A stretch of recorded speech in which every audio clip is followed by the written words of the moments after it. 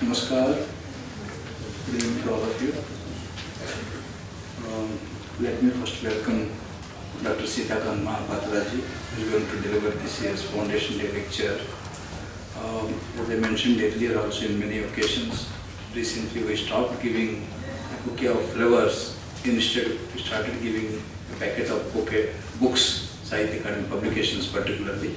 So I request uh, Sri Chandrabhan Khayalji, who is the convener of our Urdu Advisory Board and eminent Urdu poet, to hand out this packet of bouquets to the chief guest of this year, guest speaker of this year.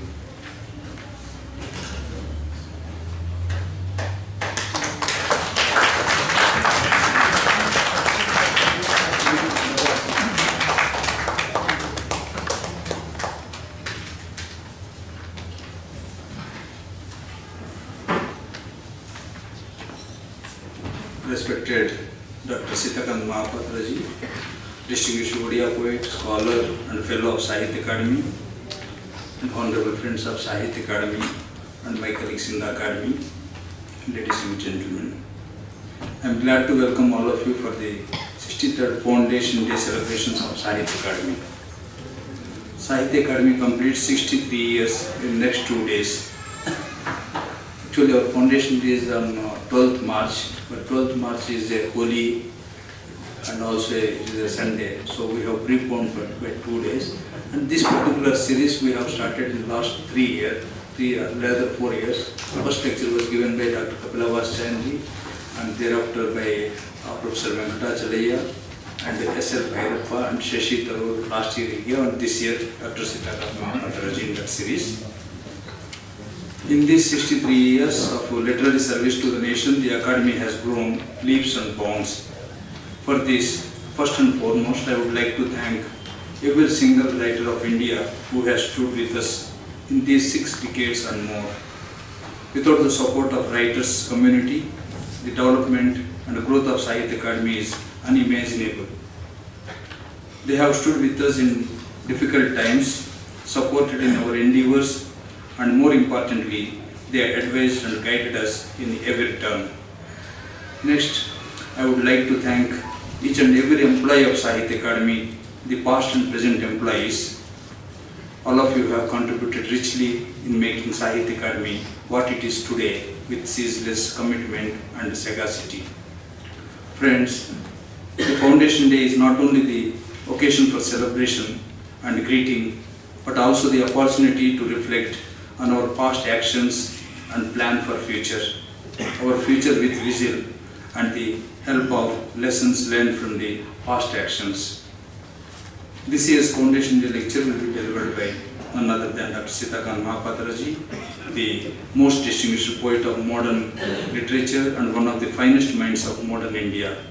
He holds a doctorate in social anthropology and after two years of university teaching, he joined Indian Administrative Service in 1961 and held several important positions like Secretary to the Government of India, Department of Culture, Secretary of Official Language and Chairman National Book Trust. And he has published uh, 21 anthologies of poems, 9 collections of essays on literature and culture, and 4 travelogues. He has also translated and edited 10 anthologies of oral poetry of Indian tribes, and his works have been translated into many Indian as well as foreign languages, and he has lectured extensively on development, anthropology, and literature in several universities like Harvard, Chicago, uh, Birmingham, etc. And he has uh, received several awards, including Padma Vibhushan, India's second highest civilian honor, Jnanpith Award, Sahitya Akademi Award, Sarla Award, Gangadhar Meher National Award, Joshua Sahitya Samman, Kabir Samman, Soviet Land, Soviet Land Nehru Award, etc. And he has been a fellow in world's two premier universities, namely Cambridge and Harvard, and three Indian universities have honored him with honorary D.Litt degrees. And today Dr. Mahapatra will be talking about the love and prayer in primitive poetry of India. With this, uh, once again, I welcome Dr. Sitakant Mahapatraji and uh, behalf of I thank you for accepting our invitation and uh, I hope all of you will be benefited with this lecture by this living legend. Now, this is. Uh, first he will deliver the lecture and thereafter we will, we can have a five to ten minutes interaction. If any questions with regard to his lecture, that will be open to all of you. Thank you.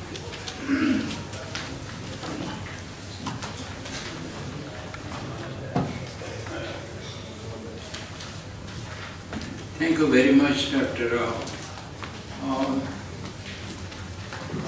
this uh, subject on which I have chosen to speak as the foundation lecture of the Sahitya Akademi.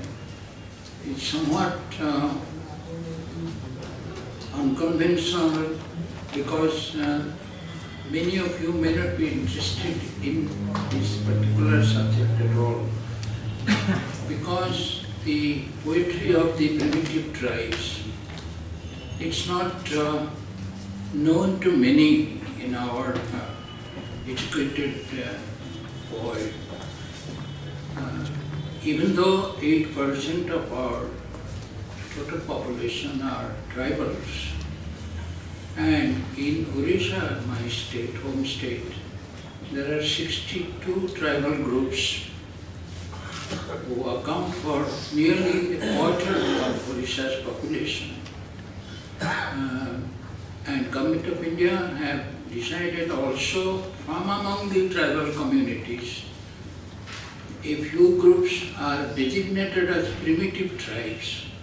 Primitive tribes are those who are, in terms of their economic stage, very highly underdeveloped economy, lack of education, and what is called acculturation, that is their communication with the surrounding non-tribal world. Because you must understand that many of them are, remain as islets in the vast sea of non-tribal world. Of course, some of them, Santals particularly, are one of the three largest tribal groups in India, the other two being Bhils and Gonds. Santals are primarily in eastern India and my work uh, spread over four years into phases of uh, Homi Bhabha fellowship which I took while as a sabbatical.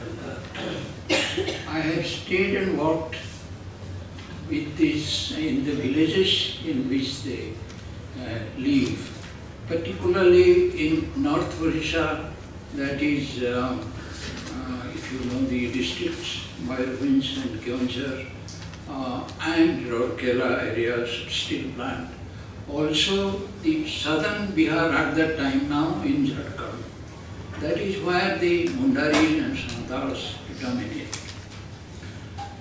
The Santals and the Mundas, if you take these two tribes, then there are four others, that is the Hos, the Kishans, the Khadiyas and the Urans, who are in this belt.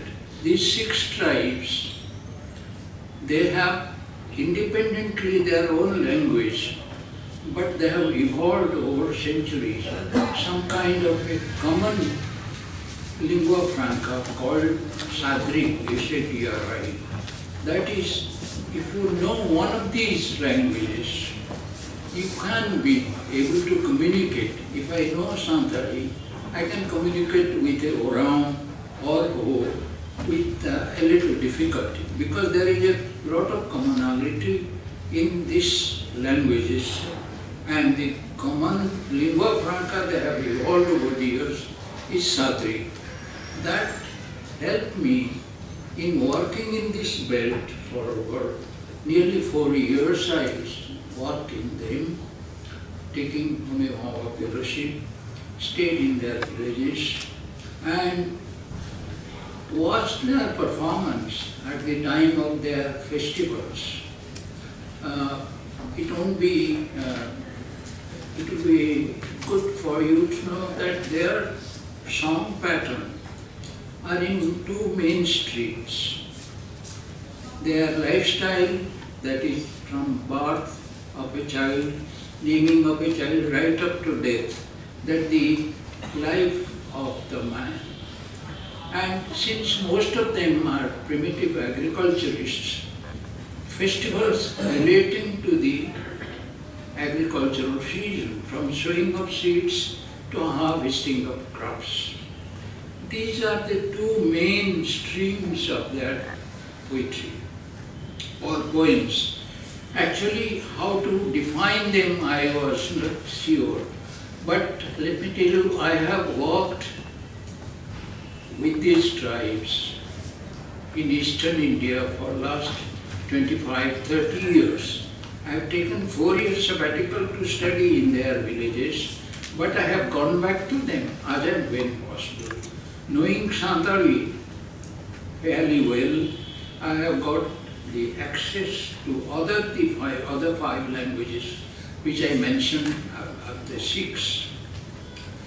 And I think that even though scholars they distinguish between traditional ethnology, that is the study of the tribal groups, there are also growing areas of what is called ethno-poetry and ethnomusicology. This last area in America, there is tremendous work in different universities, uh, ethnomusicology, the different uh, Indians groups. They have the universities, they have uh, collected and analyzed the song pattern of this narrative poetry of the, for example, the Zuni Indians, that is several Indians groups in America. The poetry and musicology, music of these uh, tribes also have been studied.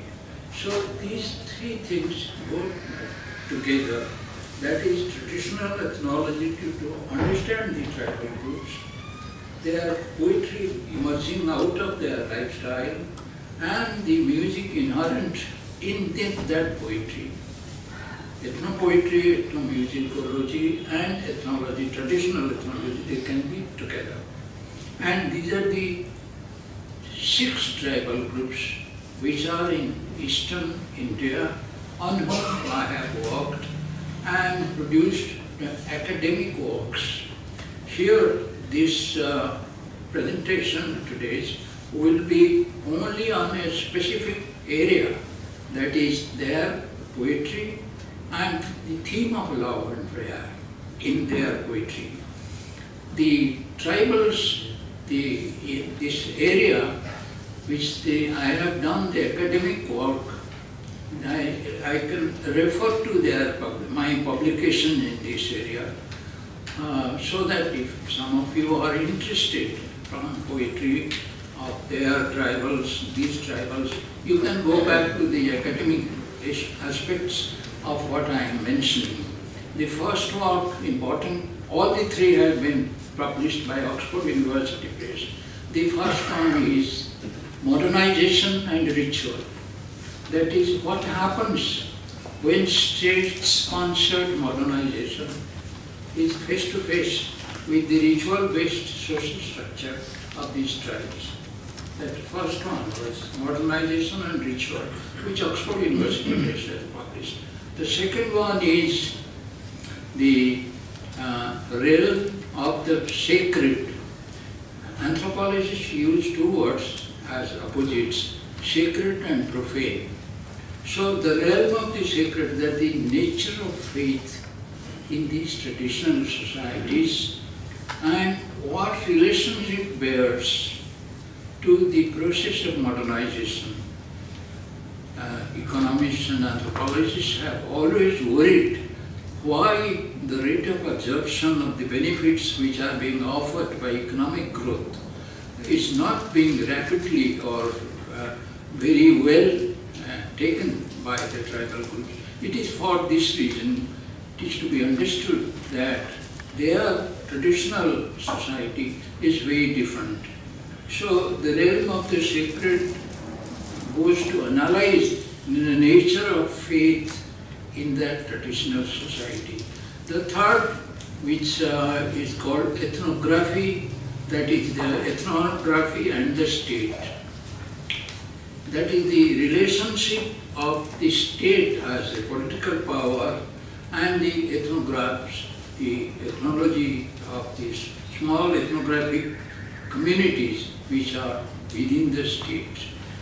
Because sometimes the state has to make uh, uh, compromises or understand the demands of these unique individual groups. Otherwise, there can be difficulty because some of them, the, for example, the Santals and the Mundas, the emergence of Jharkhand, the long history is behind this because these tribal groups wanted that they should be given an autonomy for using their cultural patterns in the development process.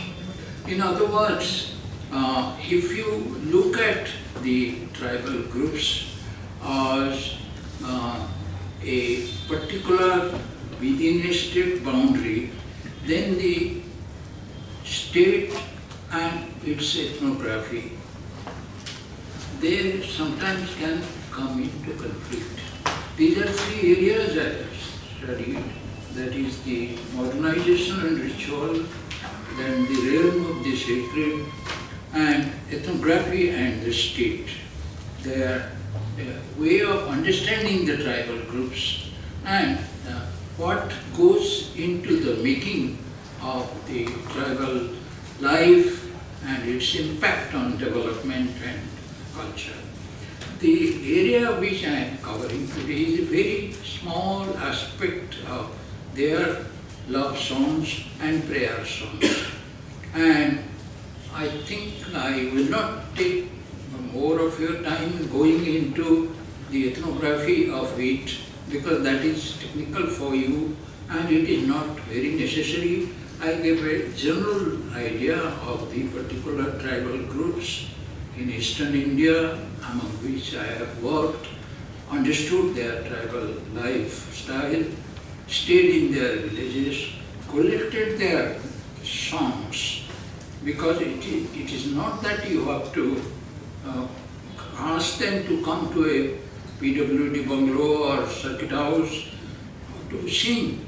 You have to be there on the spot at the time, at the festival time, when they are singing, celebrating life.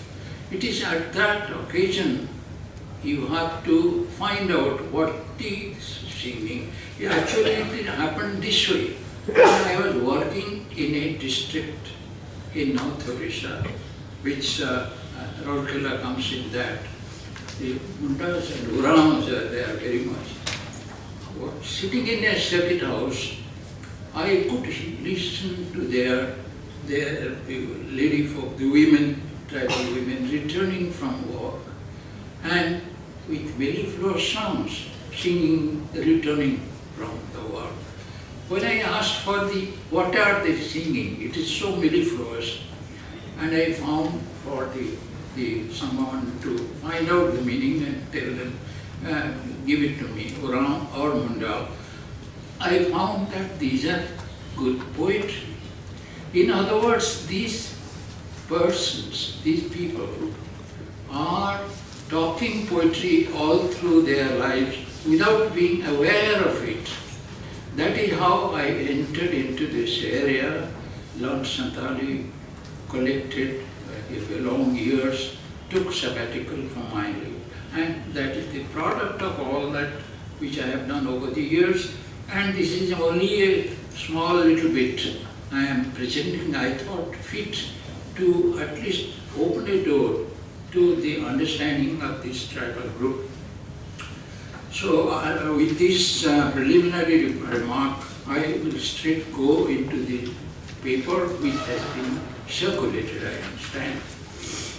It was a sparkling moonlit night in a lonely tribal village of Odisha in eastern India, lost in the midst of dense forests. The night of full moon in the month of Paush, that is corresponding to January, just passed, and one of the most important festivals of the Mundar a tribal community living in those areas. The lonely village street near the Akhra, that community open air dance hall, was gradually filling up with the villagers. Slowly they, are, they were coming. In groups they came, boys and girls, old men and women, dressed for the dance, humming tunes in high spirits. It was no longer the same village I had seen in daytime, featureless, squalid and ordinary. It had been transformed by the music of the moonlight, I said that it is the post-Punna, and the exuberance of spirit all around. They danced and they sang ancient, timeless songs, old as the neighboring hills, ancient as the moon. There were occasional and sparse sprinkling of, sprinkling of improvisations. When I studied more of the songs, I realized this. There were occasional and sparse sprinklings of improvisations and interpolations from the new world growing around them. The world of development blocks, jeeps, village level workers, uh, fertilizers, insecticides, even birth control pills. But these were mostly from the singers of the dancers of the younger generation. An old tribal sat by my side. I am giving a specific account which moved me into it. An old tribal sat by my side watching the dance, almost completely drunk and looking very much lost. Suddenly he broke into song like a winter tree coming into leaf. I can still hear the soft agony of that ageless voice and song. It was a part of the natural order, the lonely moonlit night of the empty mountains and forests, almost the voice of the night. Then I knew the tragedy inherent in this situation, the challenge and near impossibility of integrating the tribal people into the greater society while preserving intact their cultural autonomy and individuality. Now this is a problem successive generations of government and society in India are struggling. How to retain their individuality, their cultural autonomy, and yet make them a part of the larger part of the society. Let this not be understood as romantic nostalgia. One is aware that culture is not static or frozen. It is a flowing stream. It changes as it flows along. But posterity loses, will lose, if it has no access to the knowledge of what an earlier age and other communities believed in.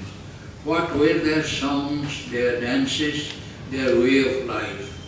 For as Martin Buber, he is uh, an authority in this area, as Martin Buber says in his introduction to Kalevala, singing is older than speech. In singing, the human being has always expressed his relatedness with the forces. Song is the primeval communion of all. The ancient amicable, inimical closeness of nature, whose pulse educated its rhythms.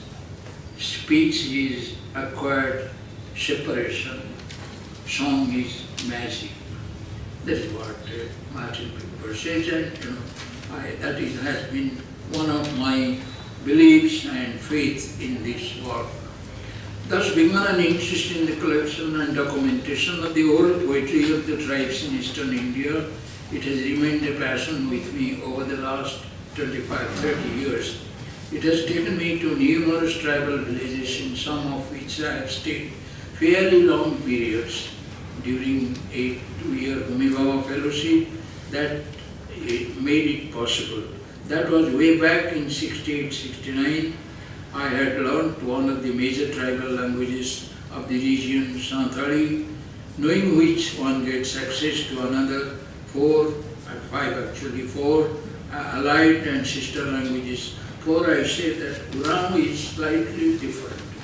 The other four, that is uh, Santali, Munda, Ho, Khadia and Kishan, they are very near each other the ling- linguistically. Urang is slightly different. They are uh, a different group of languages.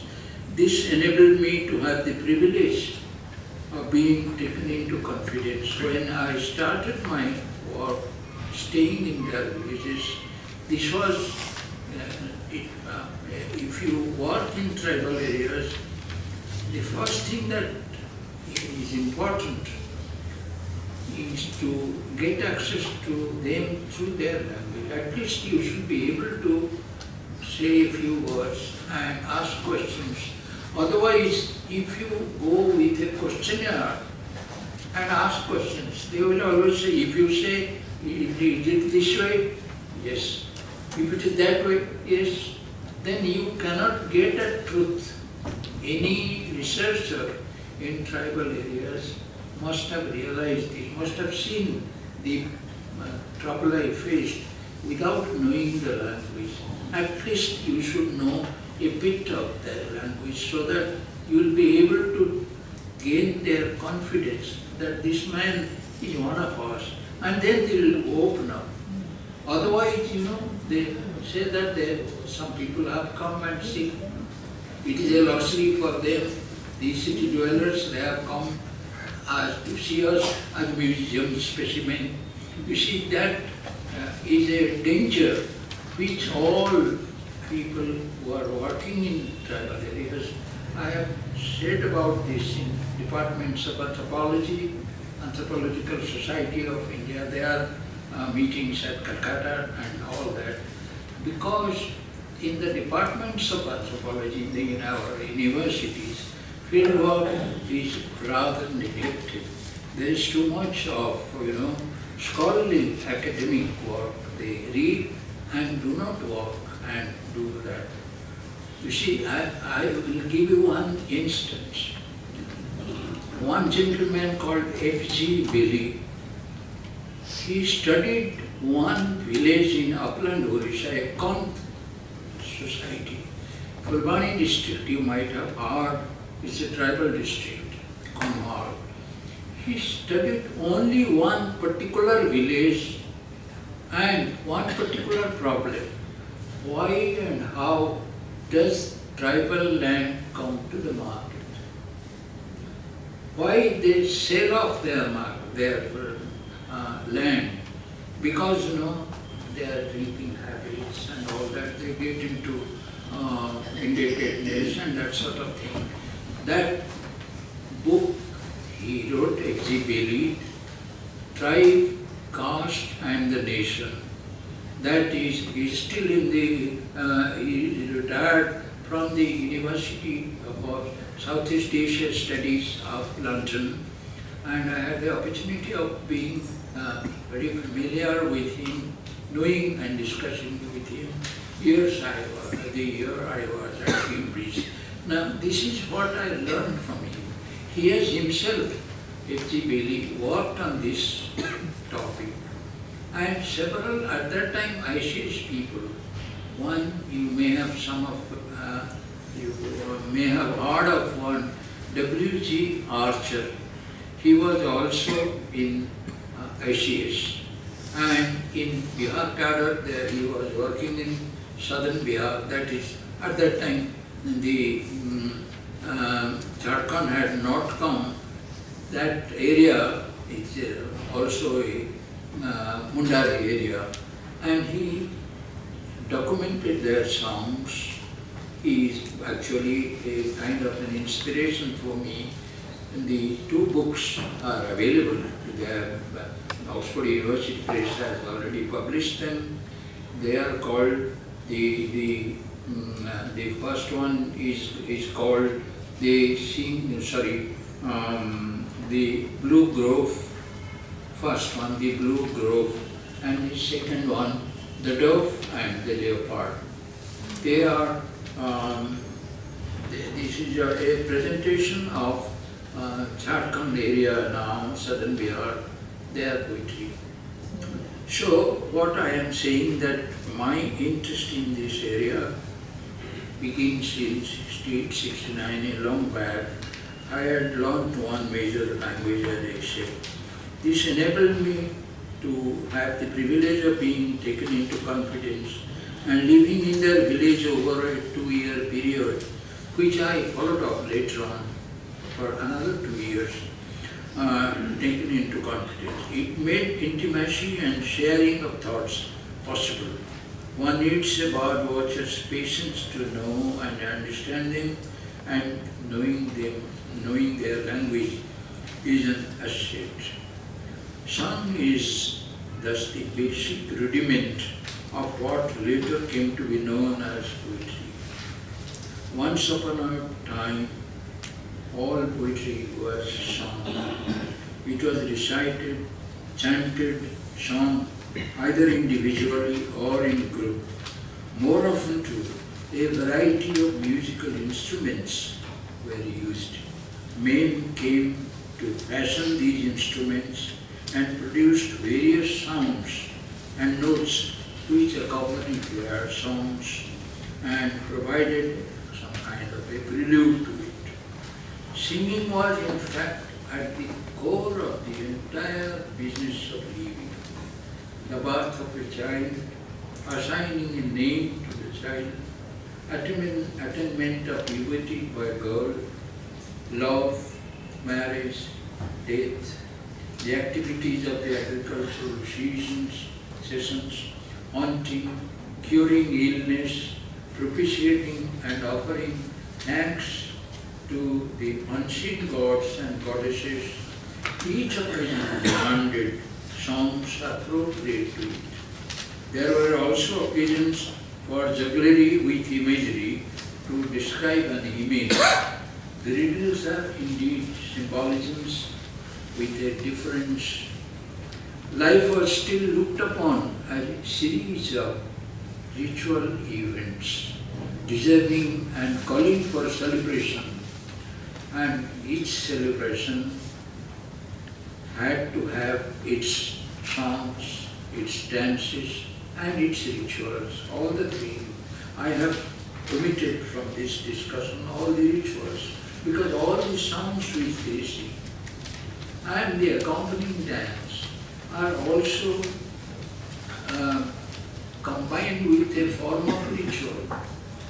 For example, the Santals, when they particularly they celebrate the Karma festival, the, the, not only they have to uh, worship the particular tree in the outskirts of the village, but also the Karma god will be installed there and they will offer prayers and they will offer also maybe sometimes, you know, the uh, um, maybe cock or hen or something, the blood it will be offered.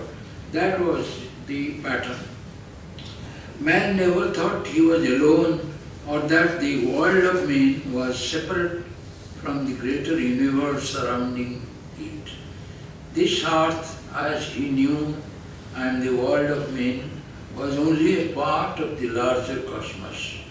The natural world of other living things, of birds and beasts, of trees and creepers, and the world of spirits and ancestors who dwelt somewhere in the clouds, in the vast expanse above called the sky. This mutuality of relations was the course of emotional strength and consolation. The ancestors were a part of the world over there and they had a profound interest in the continuance and prosperity of their own people.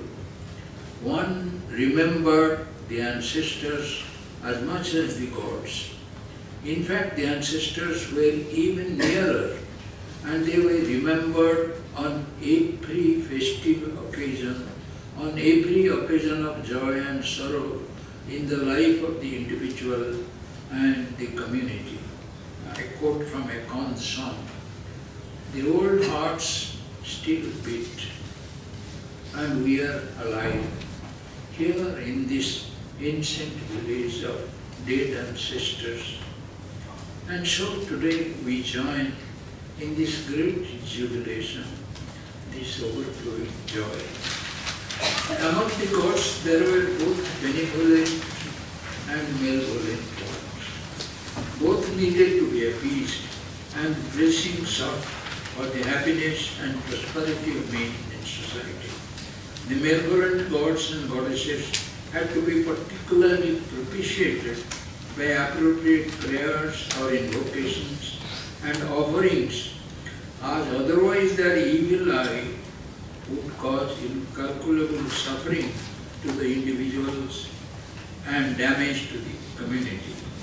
There have been attempts world over to document the lifestyle of these primitive societies. On the American Indians, for example, there have been, as I said earlier, many learned books dealing with their poetry and songs. Particularly this book I am repeating, Jerome Rothenberg. Jerome Rothenberg's Technicians of the Sacred and the other book, Shaking the Pumpkin, are of the best representative collection on the subject. He has collected their tribal poetry all over the world, Australians, American Indians, and so on. The first one is Technicians of the Sacred and Shaking Pumpkin. So also another American, have Finding the Center, uh, Narrative, Narrative Poetry of the Zuni Indians. There is of course that very valuable work. Some of you are students of literature must have known C.M. Bowra's primitive songs. In all primitive song poems, I use the phrase song poems. I do not call them song because they are song actually. They, they are recited, but they are poems. That is what I. In all primitive song poems, words are only a part of a complex group of communal activity. Singing, religious or social ritual activities and dances, as I said, three things. The accompaniment of dance with regular pattern of body movements or mimetic gestures with supporting actions like clapping or stamping of feet influence the pattern of the words. To this extent, the songs which are merely word patterns lose something in standing alone without the music and the movement. If you only translate it, what I have done, because the accompanying music is very important for that. The most fascinating aspect of tribal poems is their symbolism. We have, uh, later on, we have talked about symbolism in literature and it's a vast literature on the idea of symbolism, in 19th century and onwards. And we should remember that tribal poetry in, from very ancient times, they are based on symbolic structure. The most fascinating aspect of tribal poems is the symbolism. Owen Barfield, in his poetic diction, puts forward the interesting thesis that poetic diction is nothing but primitive, undifferentiated state of language when objects are identical with and non-distinct from the bundle of associations they give rise to. This is the key to the understanding of the nature of symbolism in primitive poetry and its basic difference from symbolism used in modern poetry. This is the key to understanding of the nature of symbolism in primitive poetry and basic difference from symbolism in modern poetry. Basically, symbolism in modern poetry is an attempt to look for the unfamiliar, the concrete, and the strange in a world excessively devitalized by the drabness of familiarity and generalized abstractions. It tries to break the stranglehold of the referential, representational, and discursive use of language in everyday life. The world we live in is not the symbolic world of the primitive. It is mapped out, connected, and intelligible. A sense of wonder and awe is discounted. For the primitive, on the other hand, social communication is itself part of the symbolic milieu in which he swims as a fish. The strange and the unknown peer out of everything, and language is a method of gaining some control and direction in such a world.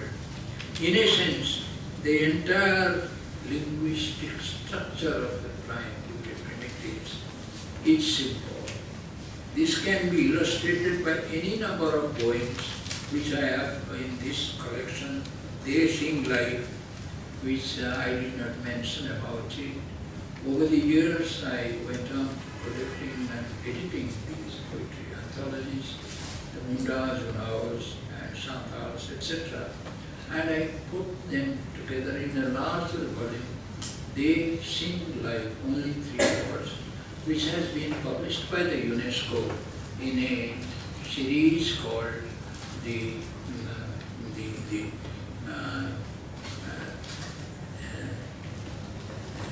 the literature of uh, primitive societies. This one, the, what, I was trying to say in this, uh, uh, this can be illustrated by any number of poems, as I said in the Buddha song. The, you take this example I have given, the mahul tree, full of branches and leaves, how it, this is a translation from Munda. I, I, I, I wish I had given the Mundari words. The translation is this. The mahul tree, full of branches and leaves, how it made the paddy field look lovely. They are cutting away the mahul tree. You five brothers, save it, save it. Here the subject is not at all the mahul tree. It is the girl who is being given away in marriage. The village will look desolate when she is gone. And they are the members of the bridegroom's party. That the bridegroom's party they have gone. They are taking away, cutting away the tree. Now, all this is never stated, but always understood. Further, the brothers are not really expected to drive away the bridegroom's party. It is only a mock protest and a reference to the brother's role as the sister's defender in that society. That even though it is a tribal situation, I believe in many of our societies also today, there is also a mock protest, there are bridal songs which are also being collected at the time of marriage. Such songs are common. The bridegroom's party and the bride's party, they sing something and then the other party replies. It's a kind of a mock protest and, you know, it goes on for a long, long time. In an Oraon poem, oranges are very cleverly used as sex symbols for a girl's breasts and the ripe, raw and half ripe are described as being too sweet, too sour and sweet sour respectively. This can be compared to the Maukali folk songs, folk, not folk songs. He saw ripe lemons on her tree. How could he control his hunger? In another Purana poem, the lines are, to the tree full of fruits, come birds to pick, crows, pigeons and doves, and they chirp and frolic. The tree in the poem is the house of a man who has a number of marriageable daughters. The girls can also be sweet smelling like Elsewhere it has been used that way. The girls can also be sweet smelling Malika flowers. There, the, instead of girls, they say, will say that Malika flowers.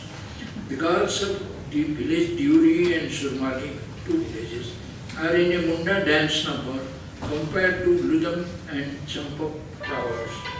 How nicely they bend down the Ludams, with that type of flowers.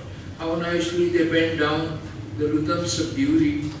How sweetly they wave in the breeze the Champaks of Surmali.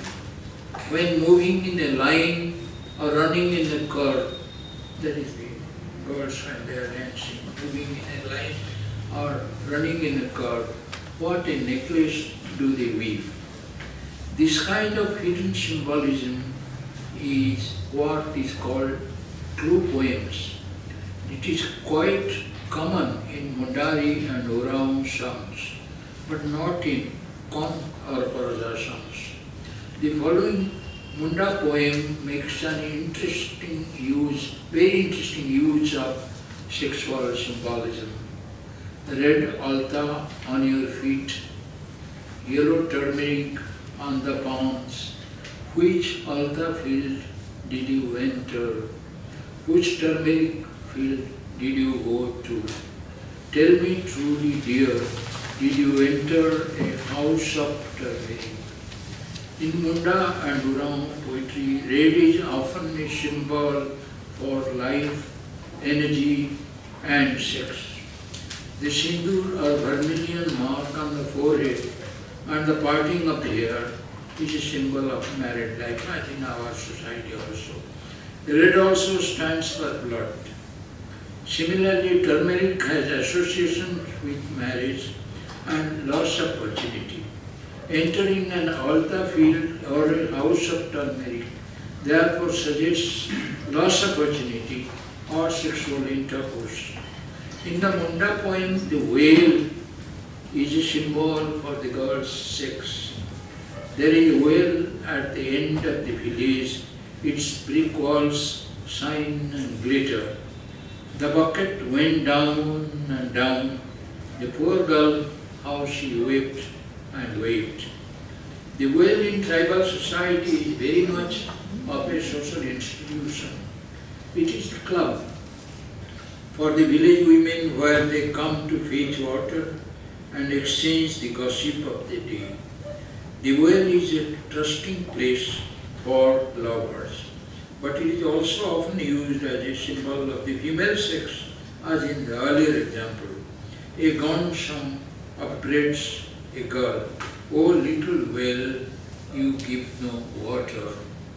Your youth is past, think well, your youth is ended. While a Dhanwar song in the nearby Vaikalis, Dhanwar song says of a girl who has come of age, she still looks like a parrot, parrot, but the whale is full of water now.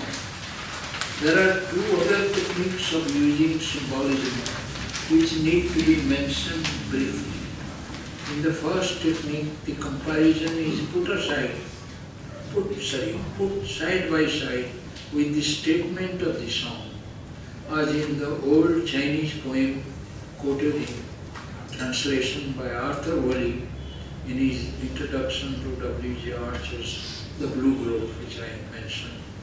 The pelican stays on the breeze. It has not wetted its beak.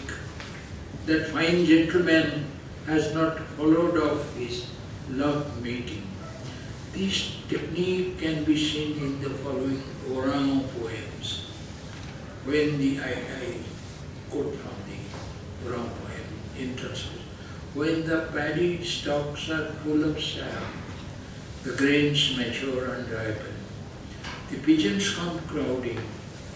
I have a grown-up daughter and friends, relatives, even from distant villages, come crowding to my house. That is for asking for the girl's hand when marriage is set up. In the second type, the entire statement is through symbol, without any clue. It is only at the end of the poem that one or two lines occur that suggest what the symbol stands for. No parallelism is worked out, unlike in the first technique.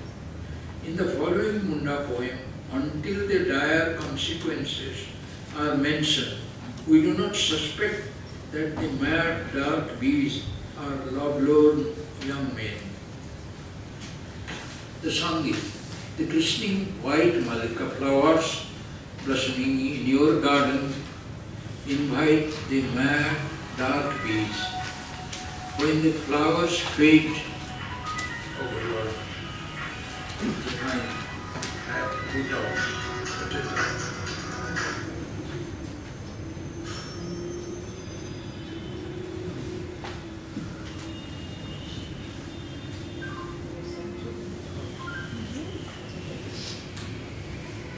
Hello? Hello?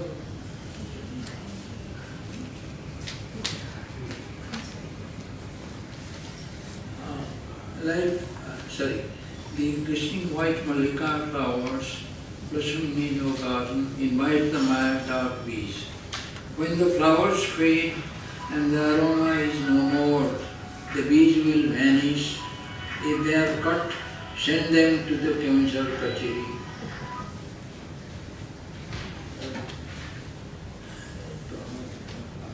National Book. He was to come. He had not come. That's all. We Put it off. I'll speak to him later on. Life for the Munda, Ram, Kant or Paraja is not all dance and song. Dances and song punctuate their lives, but tears love not leave or behind the joyful kisses. Different forms of anxiety or truth. They are not merely economic or social. There are personal tragedies. Love is not returned. A girlfriend or a wife deserts. Naked and brutal reality threatens. The boy is speaking to mother, speak no cruel words to me, my dear. How many heart finds for you? Great is our miseries. My parents have no money to offer as Kanyasana. As the bamboo tree dies, swaying in the wind, the poor Koroja dies, driven to grave by ceaseless labor, or the here, the other song. The pumpkin plant's tragedy is from the day two leaves shoot from the seed, shoot forth from the seed, men pluck them out. Man's tragedy is alike. From childhood, useless iron is thrown into the corners. The poor man enters into the forest, crowbar on the shoulders, basket on the head, and life only a tragic song. But tragedy is often endured with a smile. It is sometimes even scoffed at. The primitive is very sensitive to the incongruous and the absurd. He can laugh at practically everything, including himself. Now, this is one aspect of their life which makes their social structure and then the uh, enjoyment of life possible. They are not extra sensitive, they are sensitive to an extent, but they take things for granted that this is what is life. There is bound to be so many difficulties, bound to be so many uh, tragedies of life. It has to be taken in the, uh, uh, as it comes, it will be welcomed and lived through. In his introduction to Plucking the Rushes, an anthology of Chinese poetry, David Aldrich refers to this resignation, not despair. It is not despair, but resignation. This transcendence of envy, the gratitude for the continuity of life and love, that is in Chinese poetry that puts suffering in the larger perspective of human existence set among the indifference of the natural world. This is where it differs. As in primitive tribal poetry I have been studying, the, this is where it differs. A modern attitude which is aware of pain but refuses to cause or run away in despair. This is what the tribal life uh, has taught, uh, is something which we have to learn. Modern society has to learn from it. Albert Camus once said that all great art extols and denies the world at the same time. Everything is said in this sentence about what could be said about the nature of tribal poetry. That it is great art because extolling life, it is celebrating the uh, pattern of uh, life that God has given us this benefit. And so we are eternally thankful to what is coming. We are not denying, we are not turning back on life in despair, but we are aware that there are tragedies and it has to be suffered. The simultaneous celebration and rejection of the world by the simple primitives can perhaps have a lesson for us. The invocatory songs of the Santals and the Meriah songs of the Khons are almost reminiscent of the Vedic rituals invoking prosperity and plenty for the community. This one sentence I have said, but you see, Khon Meriah songs, you may have heard of the Khons. Earlier they used to give you know, human beings uh, as suffering and as the uh, offerings to the uh, earth goddess, that is Dhartani. They call Dhartani and Dharman the sun god upstairs in the sky. The Britishers took extraordinary efforts to prevent the manslaughter by Meriah practice. Meriah used to be the young men, the particularly the headman's uh, relations, which the community was to purchase. Purchase in terms of uh, uh, not you know money, but a kind of a uh, uh, transaction in kind. And this was to be offered to the earth goddess. When it was the practice was there, I, I will not get into this because you know this is elaborate the it is called the hymns. This is in three parts and I have documented it. The song has been translated and this used to be in the 19th century, even latest Meriah offering of human being was 1930s. The British then completely stopped it. And then they said that you can offer in their killed at the most a buffalo, the largest animal, but mostly goat or a cow and this offer its blood to earth goddess. Because that is when they offer it to earth goddess, the song is, entire village sings about it. And then the, they used to be the practice, the, the little bit of the flesh used to be taken and dug into the earth in the fields of the villagers so that their uh, idea was that the crops will be better, that if it is in a field of turmeric, the turmeric will be redder, not yellow only, red turmeric. This kind of, you know, this is all uh, a part of history which has become uh, redundant now because it's uh, non-existent. But Meriah uh, sacrifice is still there. It is only uh, it is only by giving a goat or a, uh, coke, all this. The human sacrifice is no longer there, but Meriah Sloka was there. Santals also have invocation songs, invocation to earth goddess, invocation to hill god, because you know hill god is, there are different natural objects, sun, hill, river, they are all gods and goddesses. And appropriate song and dance is also for them, propitiating their and seeking their benefits, their uh, blessings.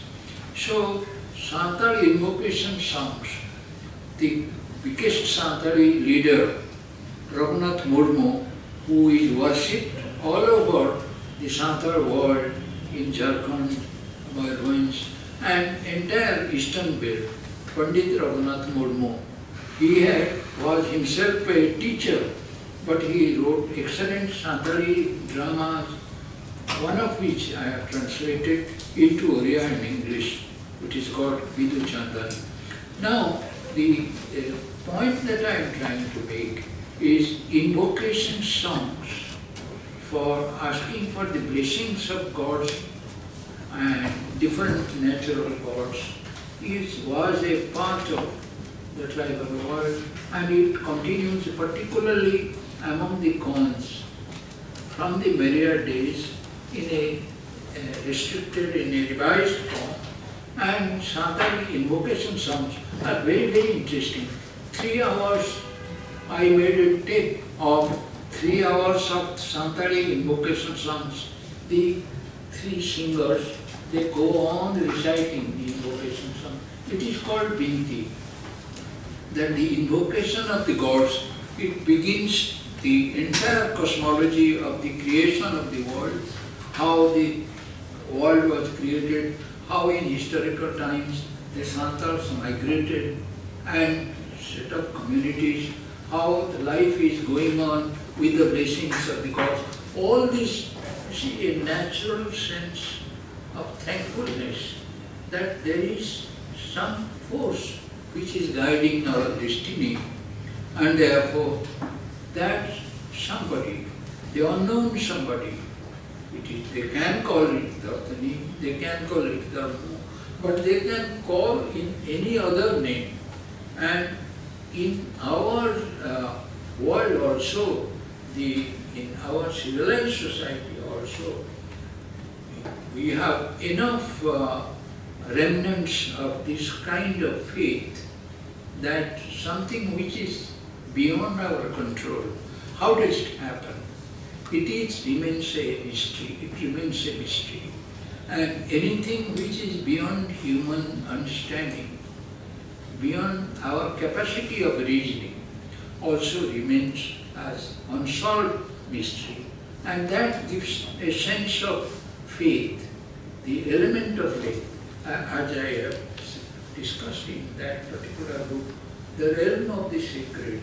That is the entire concept. What is the idea of sacred?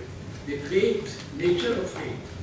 Why they believe in what they believe and why the beliefs have persisted in spite of modernization attempts.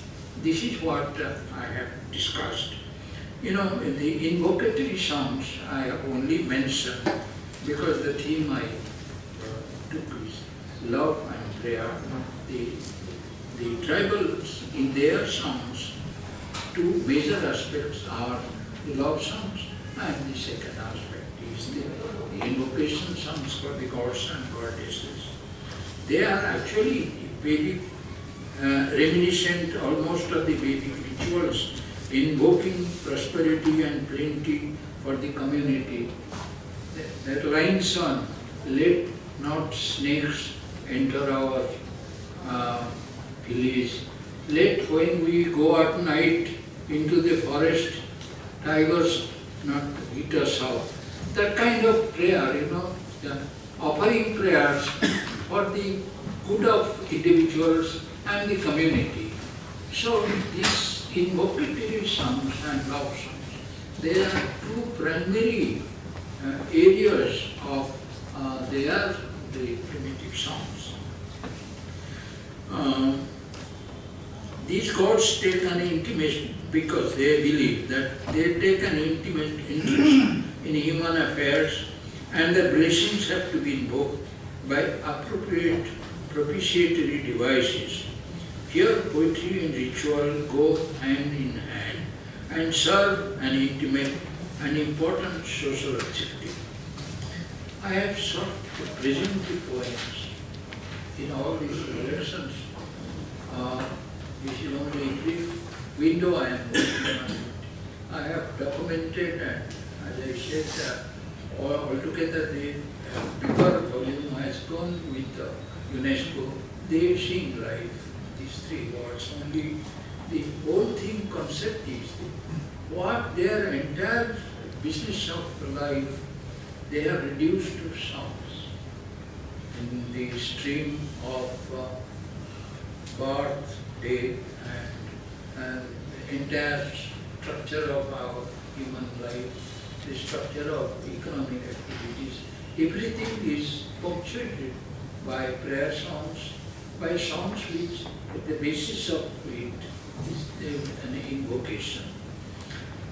I have sought to present the poems as of today, living, vital and warm, and not as dry ethnological data of a complex and strange primitive world. This is what I have said in that bigger anthology, that it is not a kind of uh, very ancient and lost relevance. Uh, it hasn't lost relevance. Even today in our modern society, it has uh, relevance. I, I concluded by saying, being a poet myself, I have tried to see and feel them as poetry. And no consideration, uh, other consideration has mattered, neither ethnology nor religious association, associations or ritual significance. I cannot but conclude this note by quoting Brandon. Quoting Brandon is the person who has done enough work on the American Indians and their poetry. The, uh, Am quoting from that, The Magic World, subtitled American Indian Songs and Poetry. That quote is, all that we want from any of poetry is the feeling of poetry. Let the ethnologist keep the science and the oncoming generations of Indians poets its mystery. But Brandon says I am only interested in their, this poetry which is let the says let the ethnologist keep the science, ethnological science, and let the oncoming generations of Indian poets, that means they are Indian, Indian, uh, American Indians, keep their mystery. They are mystified by these songs. And for me, Brandon says that it is the poetry in these songs which is important. Now, this is a belief which has driven me to their songs, as I said in the beginning, ethnography, ethnology is very important, but it has been reduced, but uh, integrated now in our studies in ethnomusicology and ethnopoetry. These two areas, unfortunately, in our departments of anthropology, anywhere in Indian universities, nowhere is being studied. Even traditional anthropology, the departments of anthropology which I have visited, Anthropological Society of India, Calcutta, in their annual uh, festival, I have spoken once and broached this idea. They said that no, field work is now being neglected. They read, the anthropology students sit in the library and then they read many things and then they write thesis and so many, all of them get PhDs. You see, this is not what was happening. The anthropologists from the West gave us the first idea. I refer to Bailey, I refer to Archer. Bailey wanted to study one subject, It is what, how, and what for reason the tribal land comes to the market. It is one, one particular village in Kangamar. He stayed three years studying what transactions are taking place, documenting each of these, family which sold, and the circumstances in which tribal land was transacted and sold out, and the tribe, caste and relation, upland uh, Kalahandi. That is what is necessary. Is poetry is not very important.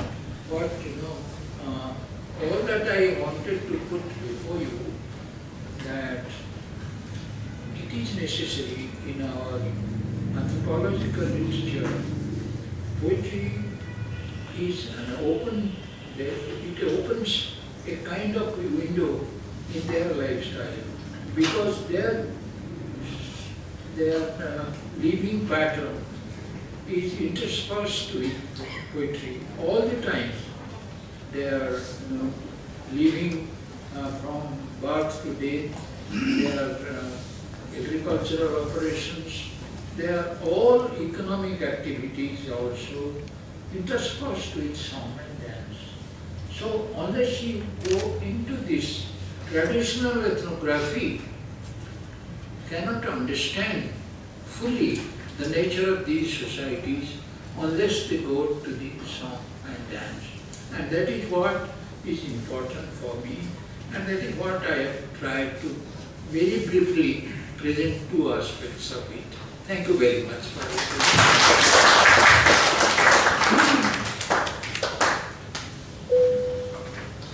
Thank you, sir, for, the, for your very thought-provoking and very creative kind of paper it is. Sitakanand is a creative writer. Very first page itself, the way he has used the words a poetry. Uh, is full of poetry, he has mentioned. Not only that the tribal's poetry, but his paper is also like a poetry have mentioned. And how the importance of this uh, tribal poetry from ancient times until now he has mentioned. He has done a tremendous uh, research work in those areas, so he could able to uh, very authoritatively he could able to mention to all of us about that uh, tribal poetry. Uh, very interesting paper, and uh, uh, as he mentioned that uh, uh, this um, there are songs in for birth, marriage, even for death and illness. This is what we have the same tradition in our major languages as well. In our almost all of Indian languages has this tradition. Maybe we might have adopted from those tribal languages. Uh, no, uh, of course we have been, uh, yeah, we can have one or two questions. Yeah, because Ramita ji also English and Anand Kumar is also. So, uh, I think first there is, after you can. Okay. Comments will be most welcome. Of course, there are, there is no question or answer. Please. I'll try to be brief. Thank you, Dr. Mahapatra, for a wonderful, very enjoyable lecture. Every word that you spoke was like a song. And I'm sure I'm not the only one who liked it. Uh, I would like to share, I'm sure others share this with me. Uh, I wonder, uh, I actually was introduced to your Unending Rhythms, the book which I came across in 1990 when I was a fellow at Indian Institute of Advanced Studies in Simla. And you had translated that, and I wonder why did you not mention that book among the three books that you mentioned of yours? Because I think Unending Rhythms that you published, the translation of the tribal poetry is a very, very wonderful work.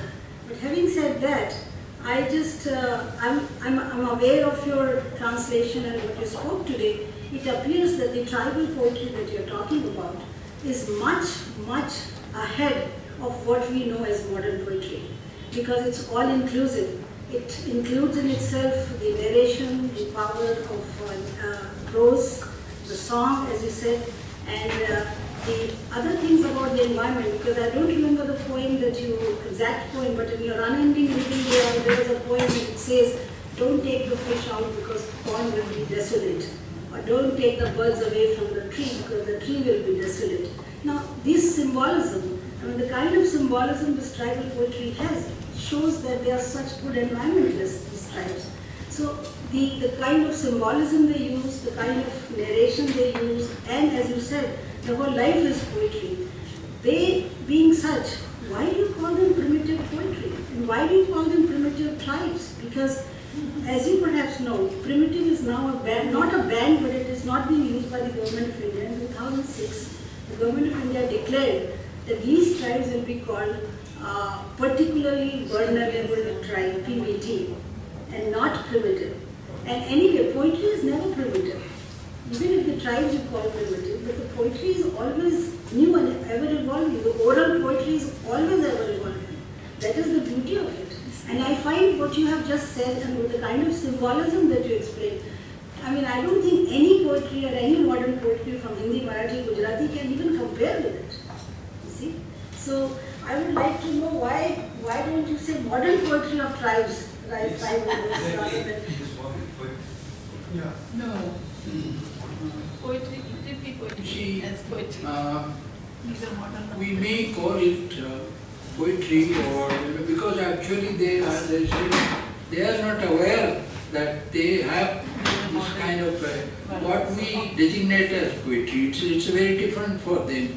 It is a part of the ordinary day-to-day living.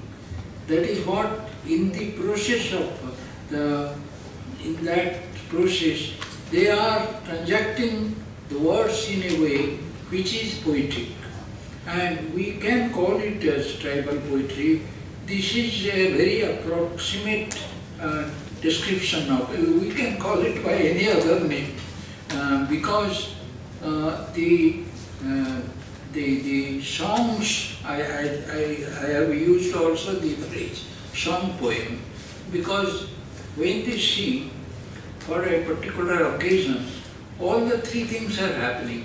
For example, the Sauras, if you have seen Saura paintings on the walls, small walls, now three things happen.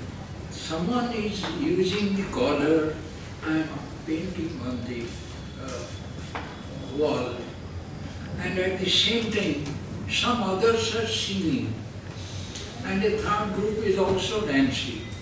That is the art, you know, uh, uh, uh, the right of propitiation in different ways, in words and also in paintings.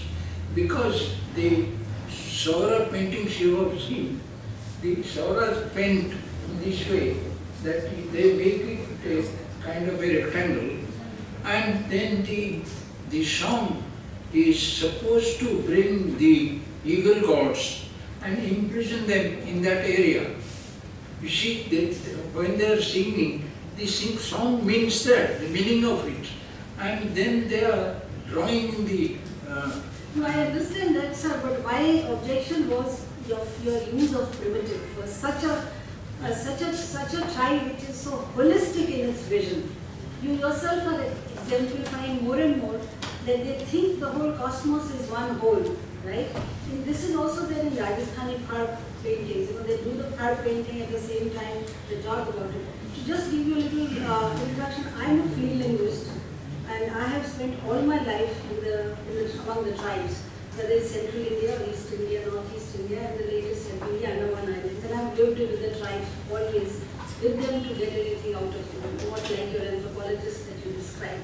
And I know that, and every time I feel that they are much more modern in their expression of poetry, and you- you rightly said, it's poem songs. They are not, because their whole life is intertwined with their singing and nothing, you cannot separate it. It's inalienable as I call it. So the inalienability of the singing and poetry makes the life whole. So why call them primitive? They are much, much more modern and emancipated than you. How, do you treat them? What would you, would you find a name for this kind of what? I will just go by the, whatever the official legal name is, the tribals. And as you know, tribe is not a derogatory term. By article, I am forgetting which article is 352 or something. These tribe, these communities were considered tribes by the government of India. So the language these tribes speak are tribal. There is nothing pejorative about. And Sahitya Akademi has recently started documenting all these oral traditions. You will be happy to know that we have done a lot of documentation of Kond, you know, the Pond poetry, the Banjara poetry, the Kamar poetry, and many others. In fact, we have just uh, noted down a Pond creation. I, only want to say, this difference between the Santali invocation songs. The Santali invocation songs are no more than 11. There are altogether Raghunath Murmu down all people who have documented Santal songs. Um, they haven't seen more than 11 invocation songs for different occasions. But they are only songs, are there no ritual ac- accompanying it.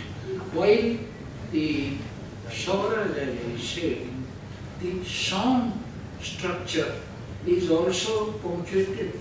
They are painting the song and the dance, they go together. The, the invocation is, oh God, you come. They are invoking, invoking the, uh, the blessings of the uh, benevolent God. So far as it is a benevolent God, they are pushing it, it, and putting it, increasing it. This uh, ritual area on the painting on the wall, you see enough of several paintings have been documented by several people. I have also edited a large volume of Saura paintings. All that they do in these kind of paintings, the song structure, the dance, and the painting have a ritualistic significance. It is the prayer. It is prayer even to the malevolent God that don't destroy us. We have created a space for you. Be happy and be there in the world and don't uh, create trouble for us.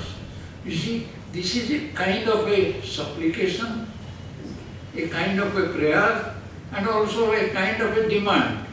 Somebody has uh, the discussing the Saura paintings.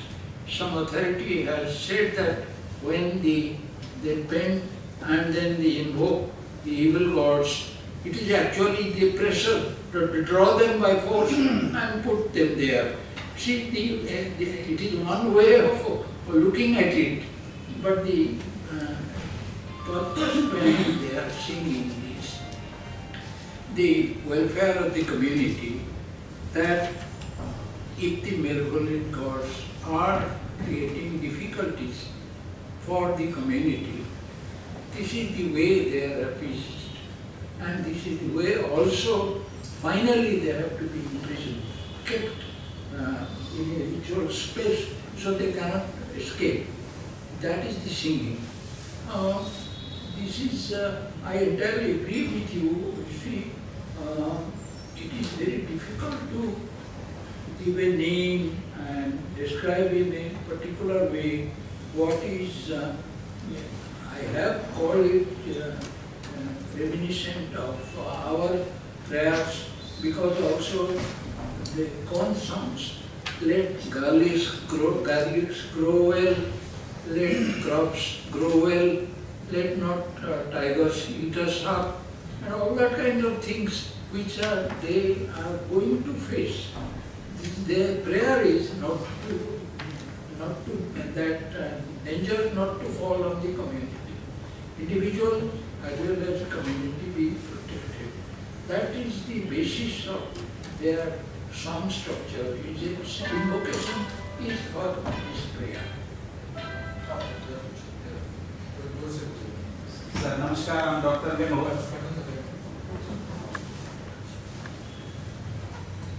Yes, I'm Dr. Vinod from Jharkhand, sir. I'm uh, thankful you have uh, referred uh, Jharkhand and uh, I'm to say the Augustan people that all these uh, tribal brothers, Santals or Mundas or Oraons or Cheros, sir, you said Kisan, that is Chero. Kisan is the, just a title and the house, etc. All are from Jharkhand and Orissa like this. Yes, sir, you said invocation song or I'm to say hymns. This is our centuries old tradition coming from let's say Rig Vedas, and all the this earth, uh, that this earth is our mother and we are her children, that is Mata Bhumi Putroham Prithivya, appears in Atharva Ved. And now across the world, whether it is English or German or African or South American poetry, including a Pablo Neruda, etc., this is reference that this land is our mother, this mother earth. My question is, why not this mother earth you referred, this uh, or everywhere, why not such invocation of the tribal brothers? Is this not the continuation of the same Vedic culture, sir? These ideas addressing to the mother earth and all the heavenly uh, deities, is this not the continuation of that same Vedic cult of Rig Vedas? I am not clear about your uh, point. My question is, sir, you referred invocation song where uh, the earth, the sun, the moon, and even the ocean, the Ganga or the mountain Himalayas, all are addressed. Uh, this cult come, comes from the Rig Vedas. Yes, uh, Hiranyagarbha, Samvartata, Agre, Bhutasya Jata, etc. These hymns. So my question is, why not we say that the invocation song in the Santals or the Mundas, this, this is the continuation, continuation of same Vedic cult. This is my question. I think I can answer this question much, uh, 100% what Dr. Mahapatra will answer. But if you just know, you know, the tribes that Dr. Mahapatra is talking about is much, much older than the Vedic uh, clan or the community which the areas, areas uh, represent, represent in the Vedas. Because the Mundas, the Austroasiatic family that he's talking about, the languages that he's quoted are from Austroasiatic language family. The Austroasiatic language family is much older than the Indo-Aryan language family that Sanskrit is the part of. So the, it is most likely, it could be, if some research is done on this, maybe the borrowing is on the other side. Maybe the Munda, the Khadiyas and the Gons, what they are doing has been borrowed by the Vedic people, not the other way around. You see, it could be the other way because Mun, when the aliens came here, the Mundas were already here. They are the original tribes of this country. Sir, your views. One not to be bothered about, you know, I, I only call them invocation, but what is the invocation? What do you invoke? Yes. Some superior power which you do not understand, the working, the forces which you do not understand. And the working of these forces, when you pray them, that for your, their benefit, our, our benefit, that is invoking a blessings, that's all. You Call it by any other name, you need not call them invocation, uh, but uh, this is, generally it has been called that way. Excuse me, Sir, thank you. excuse me, sir. I, have no idea of this deep ocean of literarians. I wonder that our tribals, all were tribal, not only India, as you quote USA and South Africa also have more enriched. So they have some maintenance, healthy maintenance, nature, as you quote, nature of faith. That's a good quality of human. But mm, natural faith, if they belong some uh, maintenance, healthy maintenance, as अभी हमें हिंदी में बोलो थोड़ा जो तीन साल से हमें गाय माता ही दिखाई देती है basically we are genetically we are also malaria understand sir you all और हाई स्कूल तक ये सब पढ़ा दिया जाता है कि वो अरे व्हाट इज़ योर क्वेश्चन हाँ तो डीप ये एंशियंट जो सब जो कल्चर चला रहा है ट्राइबल्स के पास अगर कुछ ज़िंदा है उसमें से natural maintenance healthful maintenance and your like your you senior writers quote at that and to press government to follow that methods. That is समझ एक एक डायलॉग है हिंदी में भूखे भजन न हो अगर हाँ अगर मेंटेनेंस का जो तरीका उनके पास अगर है तो आप जैसे सीनियर उसको आगे लाए फॉलो करने के लिए. हाँ।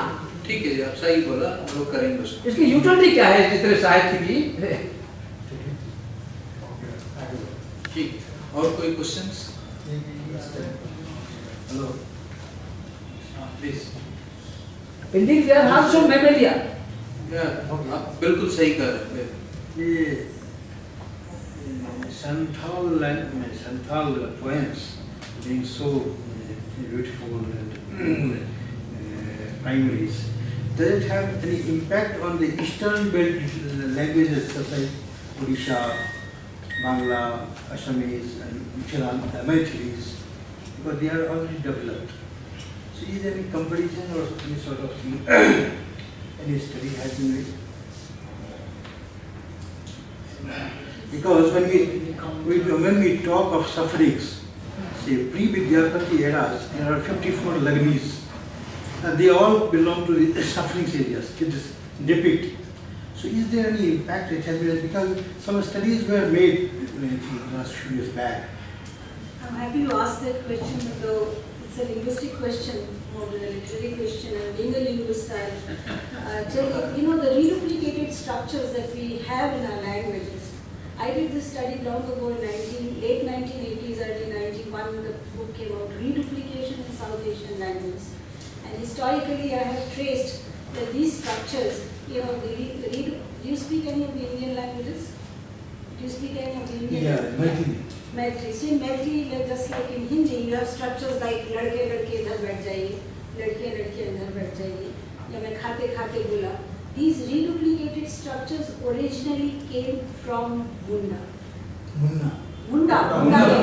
Oh, so when he was talking about the influence of Santhali the influence of Austroasiatic is very very deep into our languages. First it came to Indo-Aryan then it went to Dravidian there is no language family today in, in the mainland India which does not have these structures.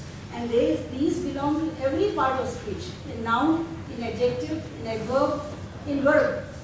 You see? So you can say अच्छे अच्छे बच्चे छोटी छोटी बातें, right? These structures were not part of Indo-Aryan languages. You don't find them in Sanskrit. But you only find shanai shanai type adverbial construction. But you don't find noun structures. These came from Munda. And then the modern Indo-Aryan languages, modern Dravidian languages, modern Austroasiatic languages, and Tibeto-Burman languages also were in under the influence.